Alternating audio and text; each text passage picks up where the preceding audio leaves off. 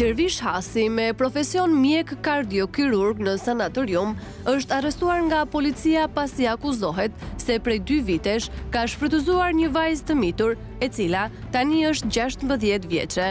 Dyzet e dy vjeçari, nën justifikimin e besimit, kishte edhe tre gra të tjera, të cilat i mbante në banesën e tij, ndërsa gjashtëmbëdhjetë vjeçaren e prezantonte si bashkëshorten e katërt. Vajza e mitur shkonte në shtëpinë e mjekut Hasi në intervale kohore prej tre deri në katër ditë dhe për një periudhë prej dy vitesh dyshohet se është abuzuar me të. Vajza, e cila është marrë nga policia, është dërguar menjëherë në shtëpinë e prindërve.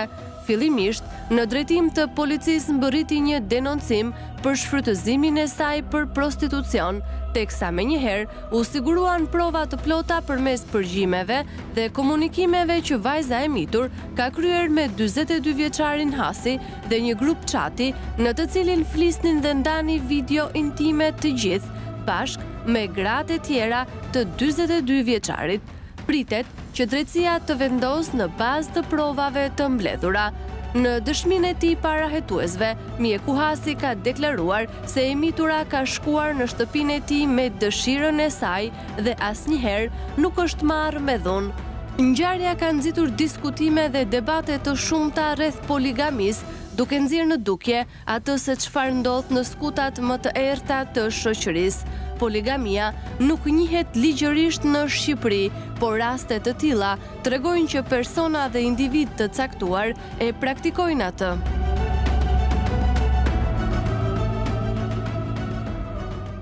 Dhe për këtë jemi këtu në studio për të diskutuar për këtë ngjarje, nëse poligamia në fakt ekziston vërtet, siç e kemi parë dhe nga kjo histori, po ndoshta gjithkush nga ne ka dëgjuar histori të ngjashme edhe pse nuk janë bërë publike dhe në fakt ligjërisht poligamia është e ndaluar sepse martesat siç dihen janë vetëm me një person, pra me një bashkëshort ose bashkëshorte. Dhe për këtë do të diskutojmë në studio me të ftuarit, kemi Neki Kaloshin, mirëse erdhe në studio me mua.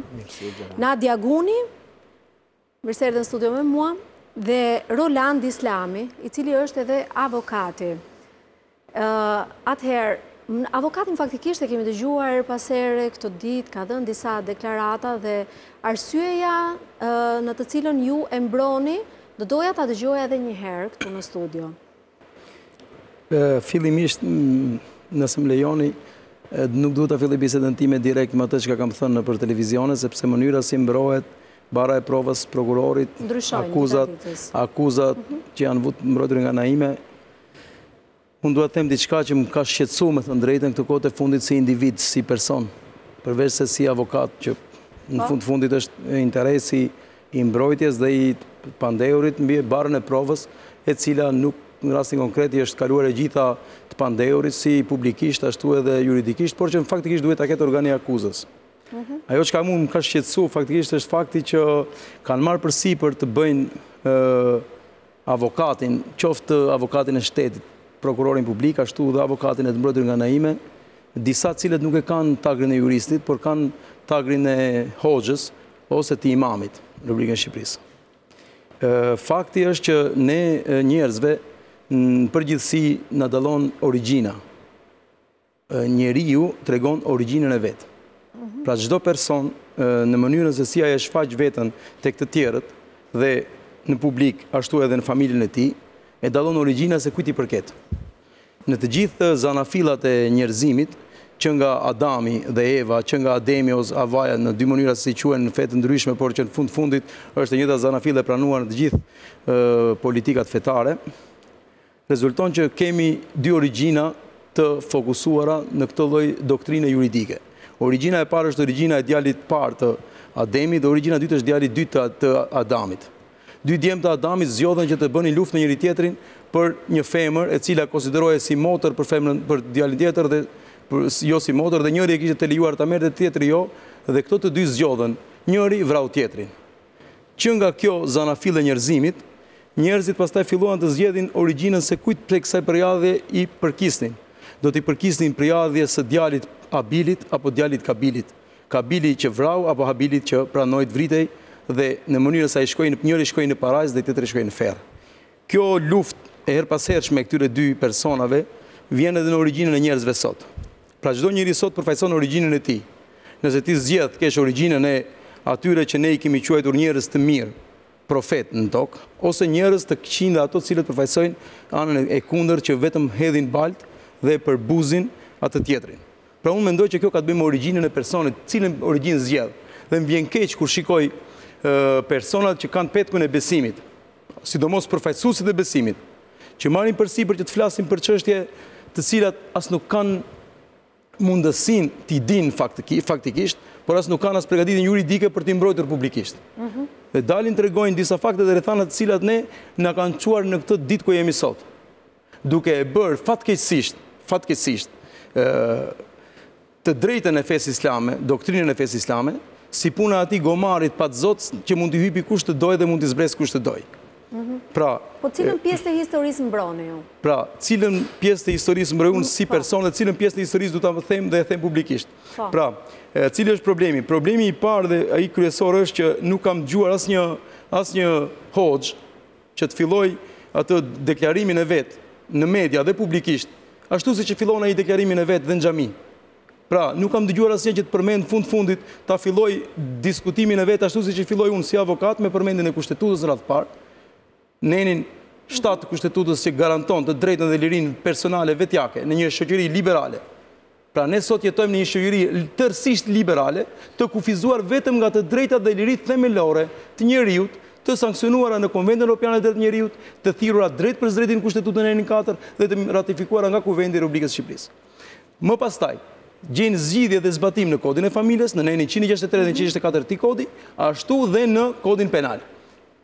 Për ta përfunduar diskutimin tim me rastin që unë kam... Mbështetje ku e gjen, sepse nëse pra, krijon marrëdhënie pra, me shumë gra, domethënë kjo nuk është mbështetje në ligj, apo jo? Si ishte?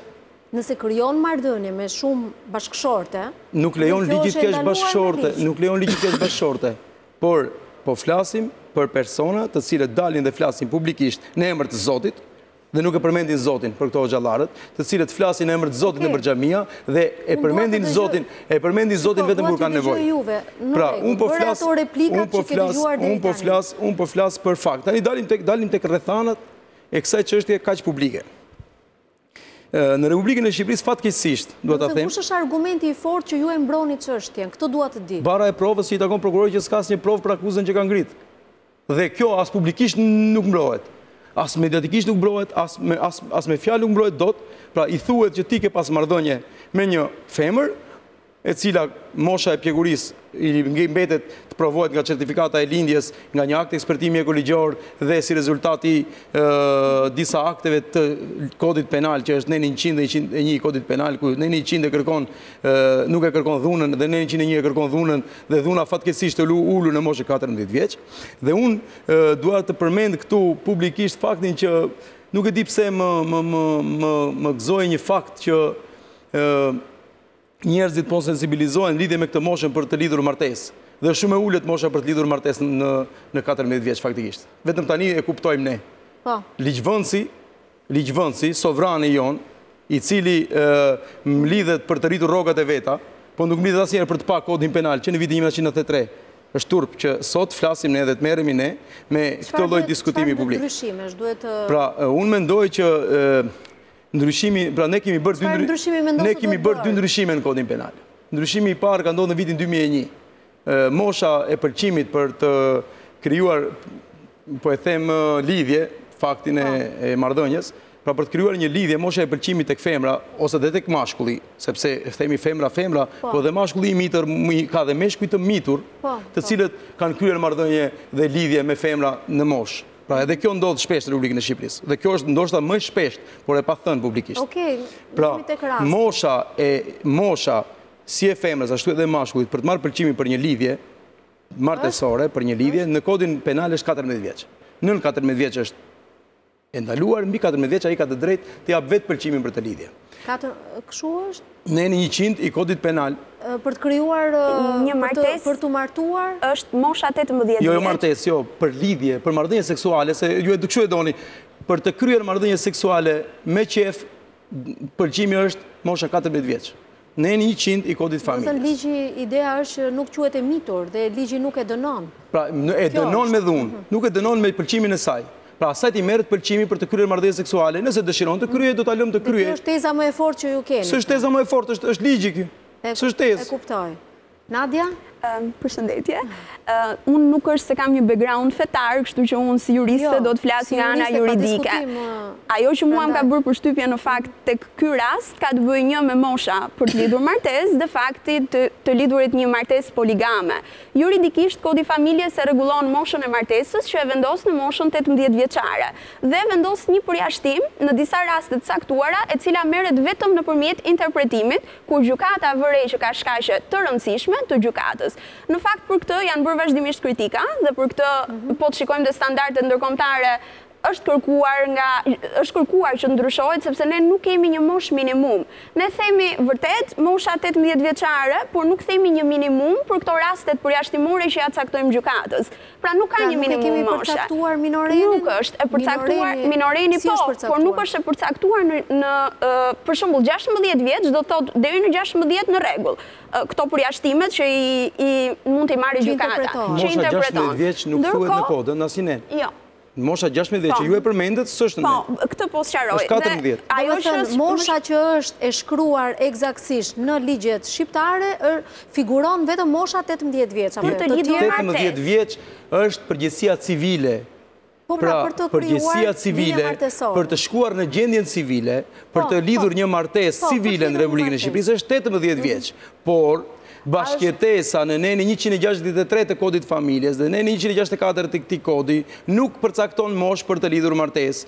Pëlqimi për lidhje bashkëjetese që ndryshe përkthehet në marrëdhënie seksuale është katërmbëdhjetë vjeç dhe nuk ka nen tjetër që të përmendet mosha gjashtëmbëdhjetë vjeç. Okej, përveç, përveç moshës, kemi rastin pra të poligamisë, Domethënë sepse ajo është edhe më shumë e diskutueshme, domethënë. Poligamia më erdhi mirë që ministri i Drejtësisë, pasi më dëgjoi në një emision mua, megjithëse ishte shumë vonë, reagoi me një mesazh, e gjej dhe rastin ta përgëzoj pra për mesazhin që mori dhe e bëri më së fundi atë që duhej ta bënin dhe duhet të bëhet, që tradhtia bashkëshortore duhet të parashikohet si vepër penale me ligj në Republikën e Shqipërisë. Pra, çfarë është martesa? Martesa në fund të fundit është një kontratë. Këtë mesazh ta dërgoi ministri dhe po, çfarë të tha? Ministri nuk ma dërgoi mua, e dërgoi te drejtuesja e emisionit, po? dhe drejtuesja e emisionit e bëri publike, dhe është sot e shpallur. Çfarë është? Tradhtia bashkëshortore ose poligamia duhet të parashikohet si vepër penale në Kodin Penal shqiptar, që nuk është. Pse duhet të parashikohet si vepër penale dhe pse është vonë për ta parashikuar dhe pse duhet të parashikohet tradhtia bashkëshortore? Martesa është një kontratë mes një burrit dhe një gruaje në Republikën e Shqipërisë. Kontratë e cila ka disa të drejta dhe detyrime. Ne për kontrata të tjera që cënohen, siç është kontrata e porosisë së një apartamenti e sipërmarrjes nëse një apartament i tjetërsohet njëkohësisht mhm. dy personave, personi që shet apartamentin dy herë mban përgjegjësi penale për veprën penale të mashtrimit. Mos merr shemb, të lutem direkt pra, te thelbi. Pra, personi që lidh dy kontrata njëkohësisht me dy femra duhet të mbajë përgjegjësi penale. Gruaja që lidh dy kontrata njëkohësisht me dy burra, që kjo është më shumë sot në Republikën e Shqipërisë, duhet të mbajë përgjegjësi penale.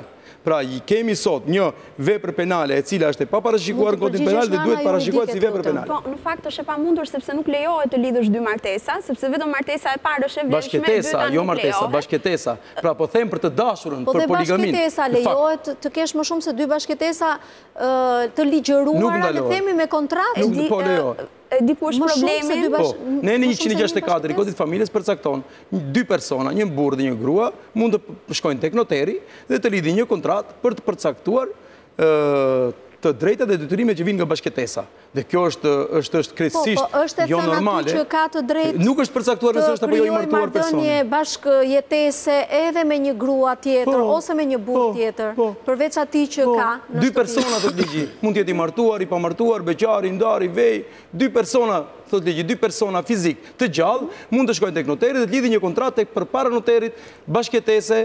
Kështu është Nadia?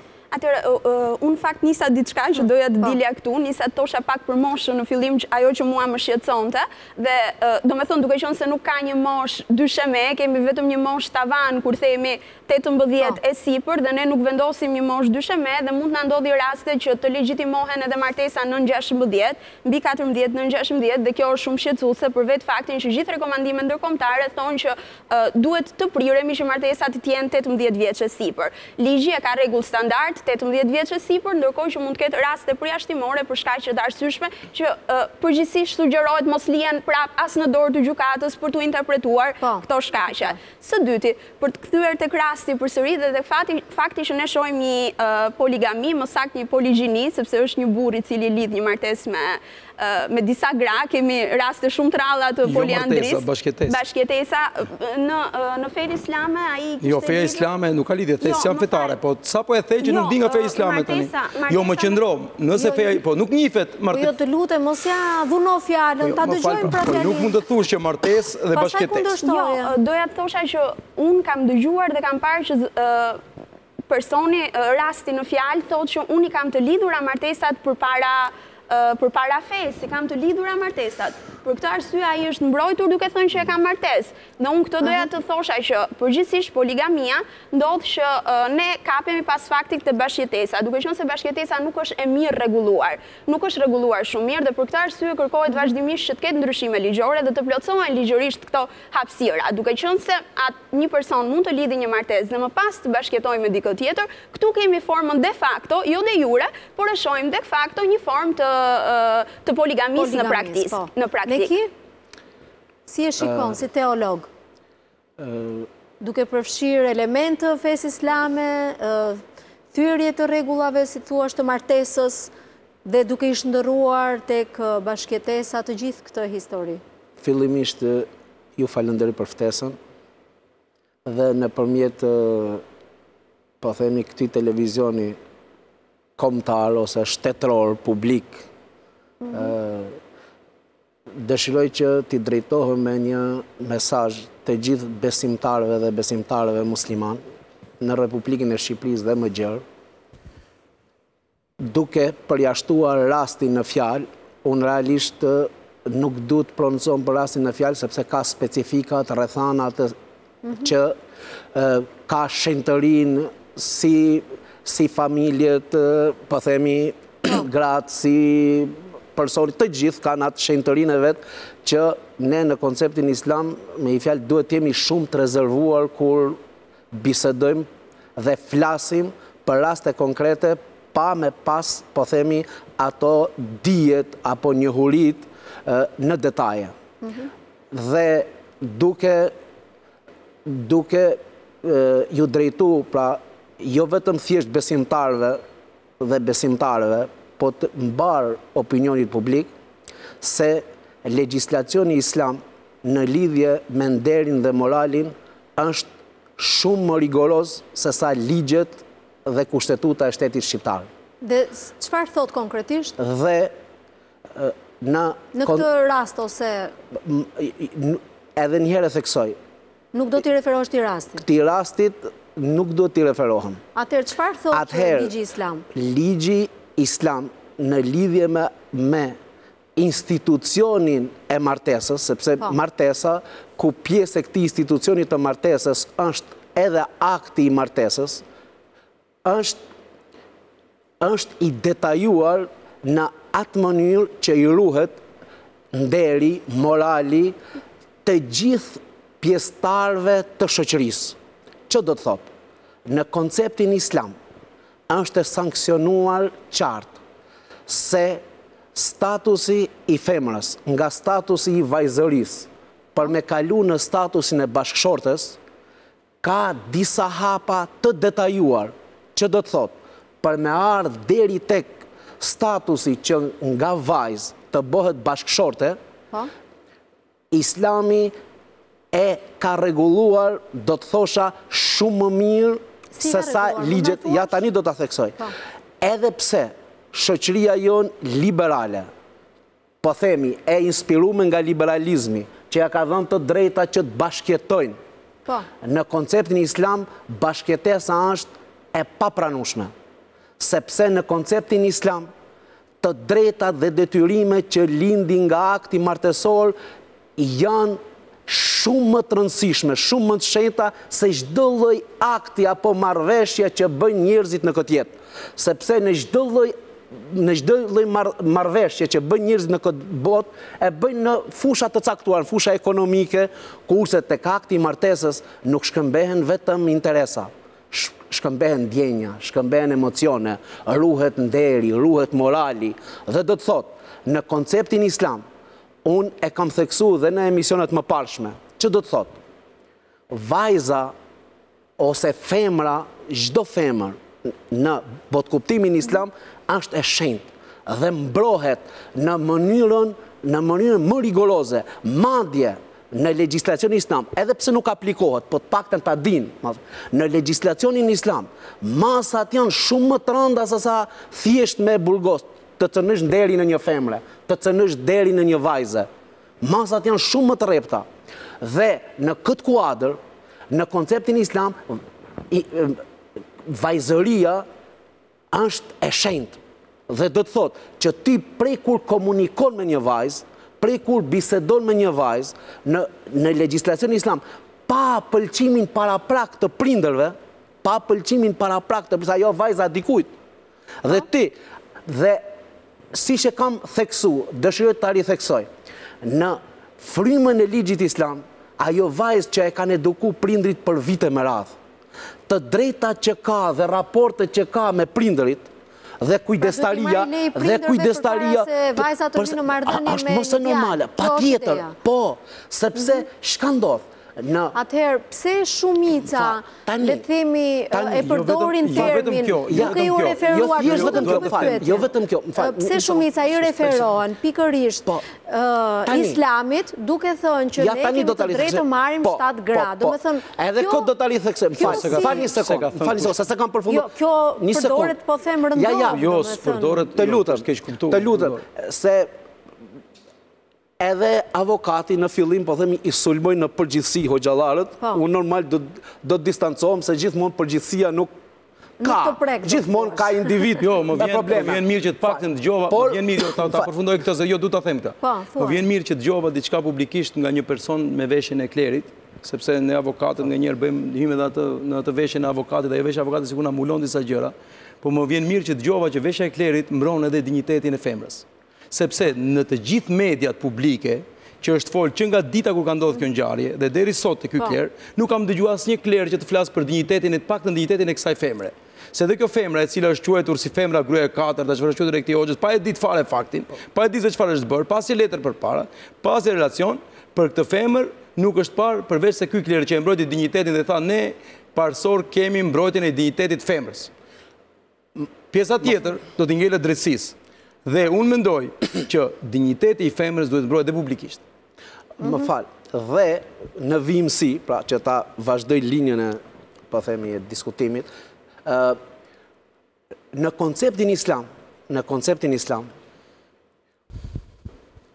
Prindi që prindi që edukon dhe i mirëedukon vajzat, thuhet shpërblehet me parajsë. Shpërblehet me parajsë. Me parajsë do thotë në, më fal, një sekondë. Dhe dhe këta vajza të edukuara, që janë nesër janë bashkëshorte janë nëna janë po them janë shoqëria në në konceptin islam duke qenë se legjislacioni islam thuajse një shekull nuk implementohet në shumicën e vendeve, kultura juridike islame mungon, mungon, po do të thosha me të drejtë edhe te një pjesë e klerit, jo më tek besimtarët. Që do të thotë, kur vjen çështja tek akti i martesës, nën frymen e këtij liberalizmi që është, po themi që s'është problem bashkëjetesa, nuk është problem kjo, nuk është problem ajo, hajde ta legjitimojmë dhe në këto forma. Por në konceptin islam e drejta është e shenjtë. Ç'do të thotë e drejta është e shenjtë, më fal. Në momentin që jemi përballë një informacioni ku Thuhet që personi ka kryer martesë të thuash në xhami. Fal. Përballë një hoxhe. Fal. Xhamia. Atëherë, në këtu me çfarë të drejte ose kush i mbështetet. Dhe këtu do të them nëse nëse kjo martesë do të ishte e ligjshme siç thotë siç thotë pra ne mos ta marrim të mirëqenë që kjo martesë nuk ishte në formën dhe në kushtet dhe në procedurën që kërkon feja. Fal. Në aspektin fetar, në aspektin fetar, Një hoxhë mund të martojë, domethënë, një burrë i cili është i martuar më përpara dhe të kryejë një akt martesor tjetër me një grua tjetër. Hoxhë, një autoritetin të martojë, se kjo është të lutem, të lutem, ja do të them, dispozita, ja do të them, në konceptin e legjislacionit islam, tagrin për të nënshkruar aktin e martesës e ka e ka institucionet ligjore, ligjzbatuese. Po, gjendja civile. Gjendja civile... Po, hoxha në cilën metodë ose mënyrë... Tani do të them... E legjitimon këtë marrëdhënie. Tani, E para, në vendin tonë, në situatë normale, aktet e martesës, në dimensionin e fesë islame, duhet të bëheshin nëpërmjet komunitetit musliman shqiptar, sipas një praktike që të koordinohej me gjendjen civile, siç ndodh te komshitë tanë. siç ndodh në Kosovë, siç ndodh në Maqedoni, po themi, që njihet, po them, edhe siç ndodh dhe në shumë vende të botës, që koordinohet institucionalisht dhe jo çdo hoxhë e bën kot.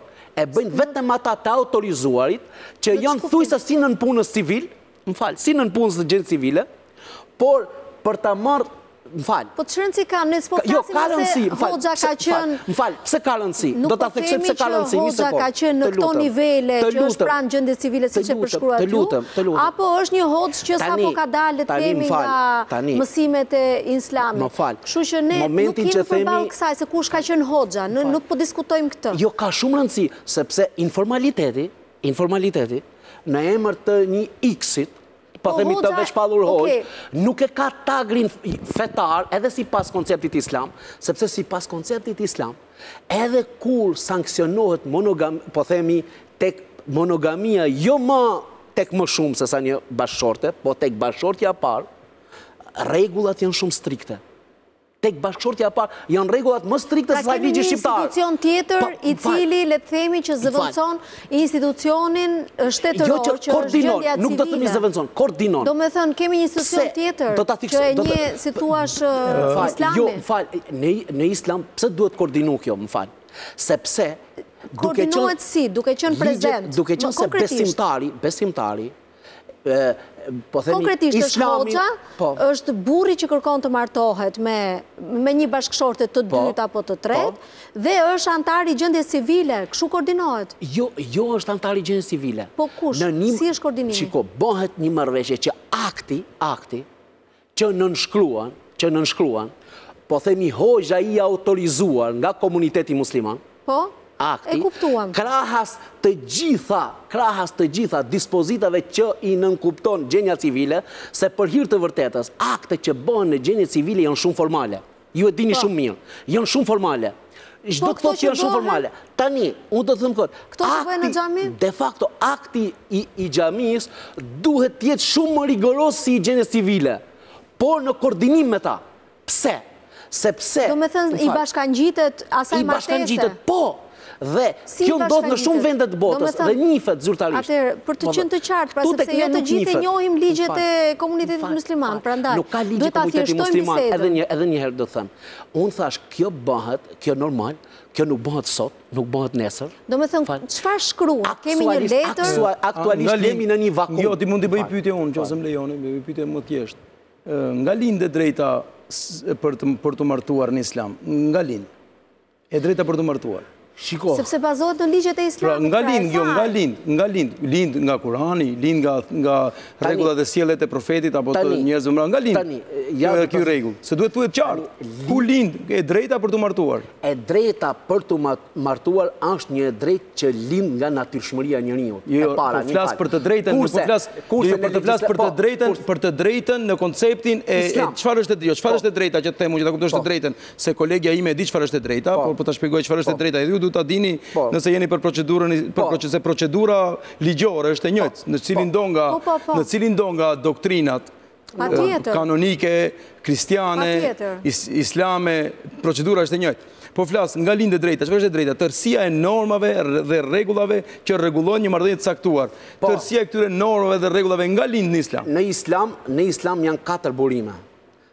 është Kurani famëlartë, që është burimi, ku po. referohet e drejta, është tradita profetike, është tradita profetike, është traditat e vendeve që merren si referencë, traditat e vendeve ku implementohet, sepse kanë specifikat po e tyre, mund të tradita, po, fakt, një sekund, burimet e së drejtës, nuk po- ishte kjo, unë po, po mirë, e drejtë atëherë, mund ta relatosh si është e normuar, norma e së drejtës, si është tashmë e normuar dhe si thuhet teksti i normës së drejtës për lidhjen e një po, martese.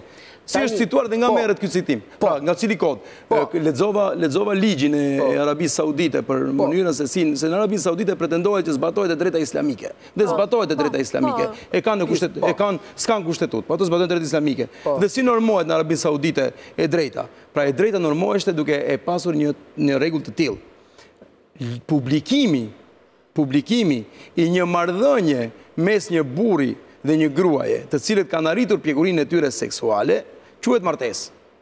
Publikimi, mënyrat e publikimit janë të cituara më poshtë, mënyrat e publikimit janë të cituara më poshtë, për të bërë publikimin e një marrëdhënie të tillë juridike në konceptin e së drejtës islame, duhet të jetë patjetër Njeri që quhet në gjuhën arabe wekil, që është përfaqësuesi, që është kujdestari i vajzës, dhe vajza mund të jetë edhe në moshën madhore, edhe 30 vjeç, mund të jetë edhe 40 vjeç, duhet patjetër në të drejtën islame të ketë një kujdestar. Pra vajza ka kujdestar gjithmonë në të drejtën islame.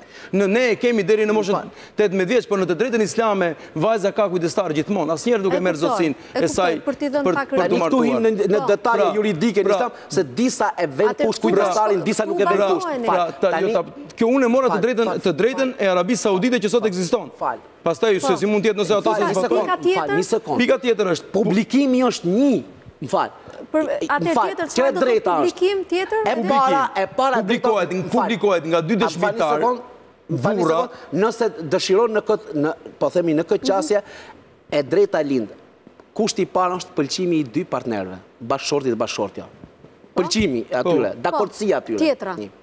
Është ne i themi në formë etike bekimi i prindit nga ana e vajzës. Jo bekimi, mos e s'ka bekim. Dakordësia që po, e pra, jep aprovimin, pra, e aprovon. Ma thuj normën, normën, se nuk mund të themi në bekimi, bekimi s'është normë. Aprovimi, pra, leja e prindrit. Po, e kuptuar, tjetra? Leja e prindit. Pas lejes së prindit janë dy dëshmitarët. Pas dy dëshmitarëve, pas dy dëshmitarëve, është autoriteti që e bën këtë. Autoriteti. S'ka, nuk ka në të drejtën arabe, nuk lexova autoriteti. Në këto kushte, jo, në këto kushte është kryer ajo martesë në xhami? Tani. Përballë hoxhës? Më fal. Domethënë në rastin konkret. Hoxha nuk është institucion. Nuk është institucion që marton. Nuk është institucion martese, ashtë mos e në e kini bërë hoxhën institucion martese. Nuk është institucion që marton. Okej, pra, e ka dhënë aprovimin pra. Hoxha, Nuk është institucion martese. Xhamia nuk është po, vendi pra, ku kryhet martesa. Çfarë është martesa? Martesa në të drejtën islame, se jam jurist dhe di dhe të drejtën islame dhe mund ta di dhe avokatja, e kemi marrë në drejtën e krahasuar penale, civile, jepet ne ua mësojmë dhe studentëve në shkollë, kam dhënë mësim për të drejtën ndërkombëtare private, kam dhënë dhe martesën, e kam mësuar dhe studentët e drejtësisë. E mësojnë të drejtën e martesës në të drejtën islame. Tani, çfarë vlere ka pra, kjo faktikisht? Çfarë vlere, kjo ka vlerë publikimi? Vlerë publikimi, asnjë vlerë s'ka, vlerë vetëm vlerë publikimi. Shiko. Pra ti... Thjesht që janë të pastër përpara jo, jo, moral. Jo, jo, thjesht që e bëjnë publike marrëdhënien, pra marrëdhënien e tyre, dihet që janë të martuar, dihet që gruaja e tij. Dhe duhet të shkojnë të marrin aprovimin e hoxhës. As i duhet aprovimi, s'duhet, mjafton që ta publikojnë. I hoxhës i cili ka ardhur nga... Hoxha thjesht bën një të lutem, të lutem, ne këtu jemi Po e ritheksoj, jemi në kuadër të informalitetit në gjitha fushat, duke përfshirë dhe këtë fushë. Tani, në të gjitha shtetet islame, në të gjitha shtetet, po themi, jo, që nuk e kanë islam, janë laike, po, po. thëmë. Turqia është laike, nuk e ka islame. Po asnjë hoxhë nuk ka tagër të bëjë martesë në Turqi, se futet në burg. Përveç atyne që janë të autorizum në bashki dhe që janë të koordinum. Nuk po e ka tagrin. Po tek ne bëhet kjo? Më fal, bëhet, më fal, tek ne bëhet. Më fal. Tek ne bëhet në informalitet pra, se këtu është informalitet. Mund të ndodh, ndodh sepse është, por në konceptin islam për që një martesë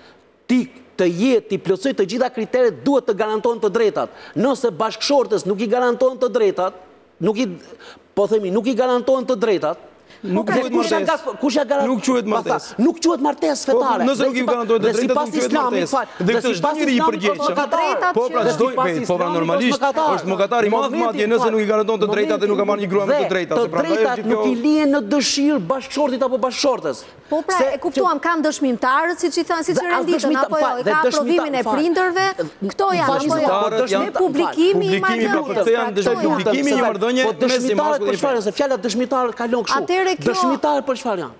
Dëshmitarët janë si garantues nesër para autoritetit për të mbrojtur të drejta. A është me ligjin kjo? Ligji kështu e ka ligji shqiptar lidhjen e martesës, dëshmitarët, po dy dëshmitarët. Domethënë, kur... Edhe njëherë, Dy dëshmitarë kërkon edhe shumë më rëndësi, është shumë më rëndësi që sepse u bë u bë po themi konceptin e morëm. Pra. I vetmi ndryshim, i vetmi ndryshim është që në të drejtën, në të drejtën laike shqiptare nuk njihet martesa më shumë se sa një grua. Dhe nuk njihet martesa me femër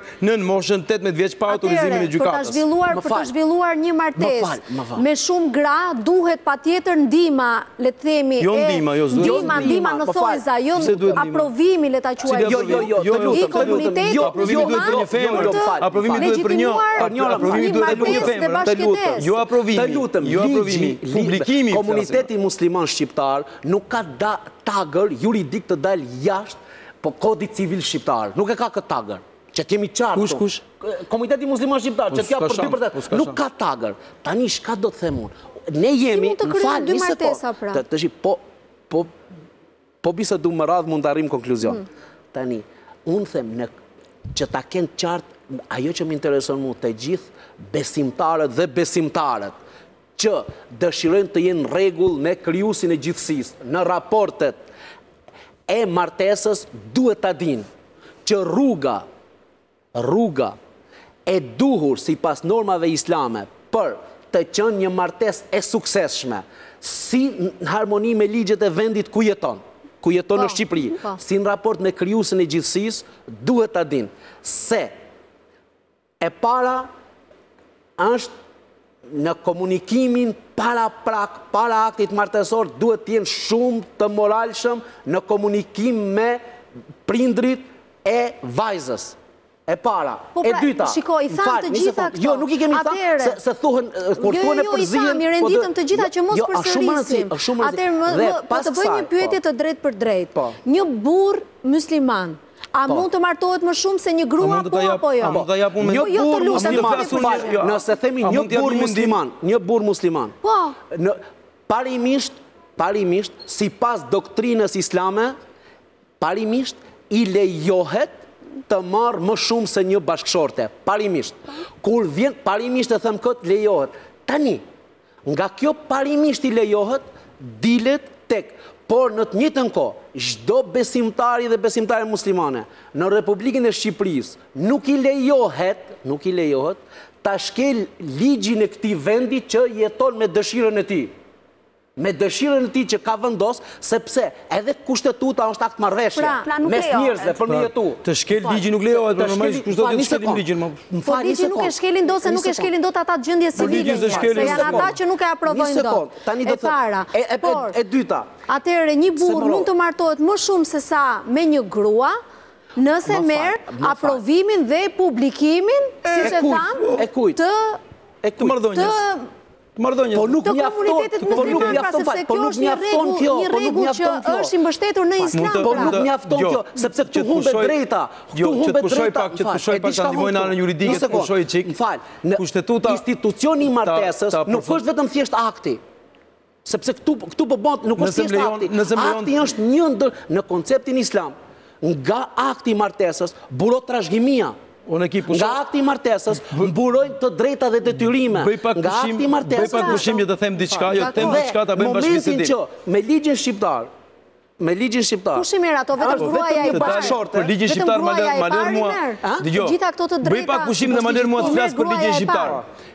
Por dhe meqenëse, dhe meqenëse flet, pra flet thashë që po. imamët thonë ligji shqiptar, ligji shqiptar. Po, nëse do kishte fol si imam, do kishte fol unë si për ligjin. Tani përderisa flet pak për ligjin shqiptar, do flas dhe pak për ligjin islamik.